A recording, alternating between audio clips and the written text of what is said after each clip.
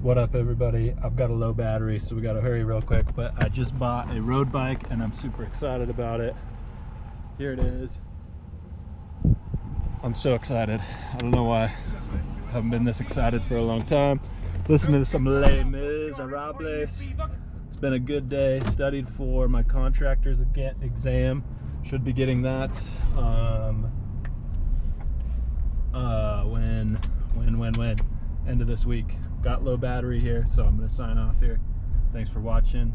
Ben, we love you. Future kids, we also love you.